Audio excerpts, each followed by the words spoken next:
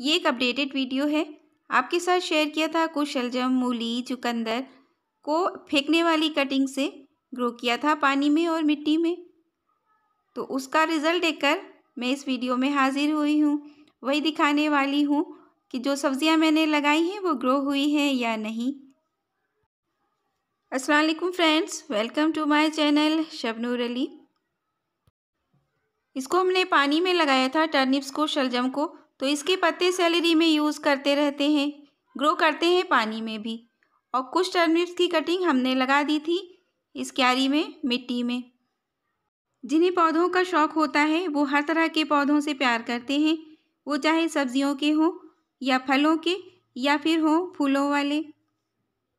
और हमेशा एक क्रियोसिटी बनी रहती है कि ये किस तरह से ग्रो होते हैं, इसके फूल कैसे आते हैं, इसमें फल किस तरह से आ सकते हैं या हम कटिंग से कैसे ग्रो करते हैं, बीज से कैसे ग्रो करते हैं तो ये सारी जिज्ञासाएँ हमारे मन में होती हैं।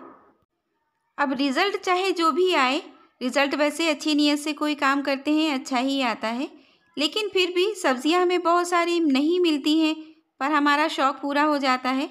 तो कुछ इसी तरह से रिज़ल्ट आया है, ये टर्निप्स का भी मैंने ग्रो कर ली और ना मुझे बीज लगाना पड़ा ना कोई पौधे ख़रीदने पड़े। फ्री में ही इतनी सारी सब्ज़ियाँ ग्रो हो गई। ये मुझे देखने को मिल गया। तो गार्डनिंग में फ़न बहुत ज़्यादा है। गार्डनिंग ज़रूर करना चाहिए।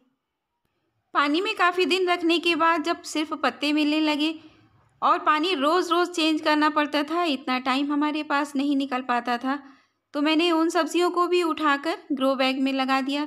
ये ग्रो बैग जो सिर्फ़ किचन वेस्ट से भरे हुए हैं और इसमें सिर्फ़ थोड़ी सी मिट्टी है। इसमें ही हमने ये पानी में रखी हुई कटिंग्स भी निकाल कर लगा दी। तो आगे हम दिखाएँगे कि ये लगी है या नहीं। और इसको मिट्टी में लगाने के बाद कहीं कोई जगह हमने चेंज नहीं करी है। ये सिर्फ़ टेरेस पर रखा है, धूप में भी, पानी में भी। क्यारी में देखते हैं, जो टर्निप्स हमने लगाए थे, दो जड़ लगाई थी इसमें बस। और अब इसका प्लांट बनकर तैयार हो गया है। पत्ते लगातार इसमें से हम तोड़ते रहते हैं, जब भी सैलेड में यूज़ करना होता है। और वो टर्निप्स की कटिंग्स जो हमने मिट्टी में लगा रखी है, बहुत खूबसूरत लग रही है। मैं ज़्यादातर प्लांट्स खूबसूरती देखने के लिए ही लगाती हूँ, सब्ज़ी मिलने का इतना नहीं है। पर एक्सपीरियंस तो हो ही जाता है प्लांट्स के बारे में। अब इस टर्निप्स में शलजम के प्लांट में कुछ छोटी छोटी सी कलियाँ बनी हुई हैं और उसमें येलो फूल खिलने वाले हैं। यही फूल बाद में बीज भी बनाकर दे देंगे। पानी में रखी एक शलजम को हमने लगाया था इस प्लांटर में। जहाँ पर भी खाली जगह देखी, वहाँ लगा दीजिए। सब्ज़ियाँ कोई हमेशा नहीं रहती हैं जो प्लांटर को ख़राब कर देंगी। ग्रो हो जाएँगी, आपको निकाल लेना है। प्लांटर फिर से खाली हो जाएगा। इसमें भी बीज आ रहे हैं, क्योंकि ये बीज का ही सीज़न है। सब्ज़ियाँ मिलने का कोई चांस नहीं। इस टाइम ये बीज ही बनाएँगे। इस चुकंदर को बच्चे ने तोड़ दिया था। उस टाइम ये बहुत अच्छी ग्रोथ कर रहा था। बड़े बड़े से पत्ते आ रहे थे। लेकिन तोड़ने के बाद दोबारा मैंने रीग्रो किया और फिर से ये चलने लगा। ग्रो बैग में लगी शलजम। अभी लगी हुई है। बीज उसमें भी आ रहे हैं। मूली में भी पत्ते आने लगे हैं।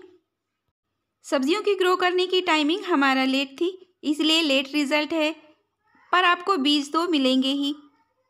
तो इसके बीज और फूल हम आपके साथ शेयर कर लेंगे। अभी अगर वीडियो आपको अच्छा लग रहा है तो एक लाइक कर दीजिए, चैनल को सब्सक्राइब कर लीजिए। और आपके मन में जो भी कमेंट्स आ रहे हैं, वो मेरे से शेयर कर लीजिए। गलती हो तो गलती बता दीजिए अच्छा लगे तो लाइक कर दीजिए। आखिर आप गलतियाँ बताएँगे, तभी तो हम अपने वीडियो को सुधार करें। और अपना सपोर्ट हमेशा बनाए रखिए। फिर मिलेंगे नेक्स्ट वीडियो में। इन अल्लाह हाफिज़।